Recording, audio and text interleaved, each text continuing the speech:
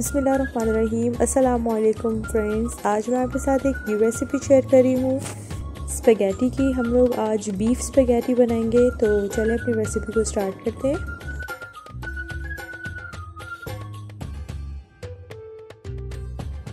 यहाँ पे मैंने five to six cup water लिया है, जिसको मैंने बॉईल करने के लिए रख दिया था, जिसमें अब मैं one tablespoon salt add किया है, और दो से तीन टेबल स्पून मैंने यहाँ पर ऑयल जो है वो ऐड किया है। इसके बाद मैंने इसमें स्पेगेटी डालती थी, तकरीबन हाफ़ पैक थी। यहाँ पर मैं स्पेगेटी को तकरीबन दो से तीन मिनट के लिए पकाऊँगी फुल फ्लेम पे। यहाँ हाफ़ कप पानी मैंने लिया है, जिसमें दो टेबल स्पून सोया सॉस डाल रही हूँ।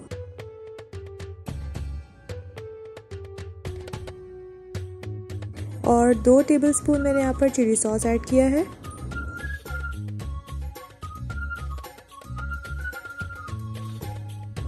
और यहाँ पर three to four tablespoon भरकर मैंने कैचअप ऐड किया है।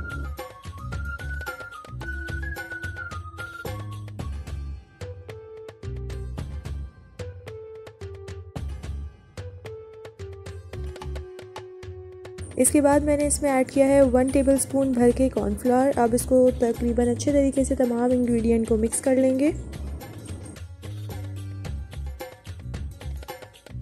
तमाम इंग्रेडिएंट्स अच्छे तरीके से मिक्स हो गए हैं। अब मैं एक पैन में दो से तीन टेबल स्पून के करीब ऑयल ऐड कर रही हूँ।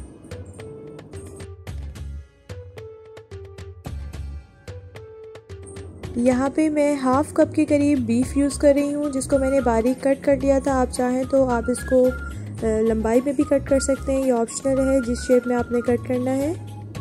उसको तीन से चार मिनट पकाने के बाद इसमें मैं ऐड कर रही हूँ सॉल्ट टेस्ट के हिसाब से आप अपने सॉल्ट ऐड कर सकते हैं और one tablespoon ginger garlic paste add करेंगे। अब मैं इसे दो से तीन मिनट तक पकाऊँगी बस, ताकि हमारा जो पेस्ट है वो थोड़ा सा ब्राउन शेप में आ जाए। यहाँ पे मैंने एक मीडियम साइज़ की प्याज ली है, जिसको मैंने बारीक कट कर लिया था। उसको ऐड करने के बाद वन फोर्थ कप के करीब मैं यहाँ पर कैरेट ऐड करूँगी, जिसको मैंने लंबाई में कट कर लिया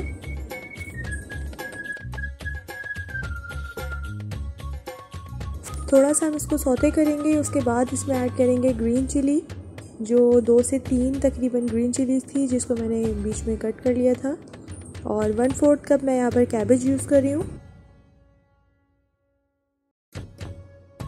वन फोर्थ कप ही मैंने यहाँ पर कैप्सिकम यानी शिमला मिर्च ऐड किया है। आपने उसकी शेप भी देख ली थी, थोड़ी लंबाई में मैंने कट किया था उसे। बाद मैं इसमें ऐड कर रही हूँ स्प्रिंग अनियन इसकी भी कटिंग आप चेक कर लें। इसके अलावा जो भी आपने वेजिटेबल्स ऐड करनी है, वो आपके टेस्ट के हिसाब से आप इसको कम या ज़्यादा ऐड कर सकते हैं।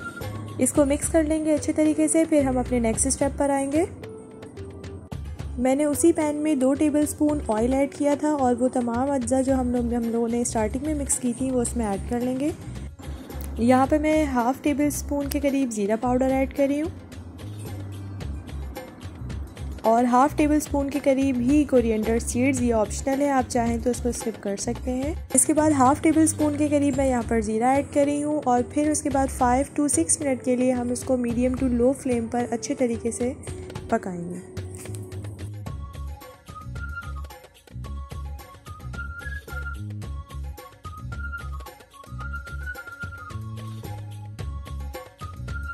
यहाँ पर इसकी शेप काफ़ी थिक हो गई है तो अब इसमें हम अपनी तमाम जो इंग्रेडिएंट्स थी, जिसमें वेजिटेबल्स वगैरह थी, वो हम इसमें ऐड करेंगे।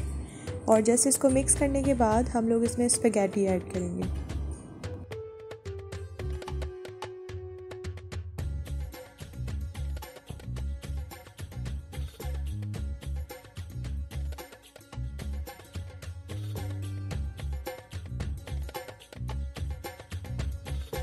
स्पेगेटी को मैं यहाँ पर मिक्स कर चुकी हूँ। जी तो हमारी बीफ स्पेगेटी जो है वो रेडी है। अगर आपको मेरी रेसिपीज़ पसंद आए हों तो मेरे चैनल को सब्सक्राइब करें, अपने फ्रेंड्स के साथ शेयर करें।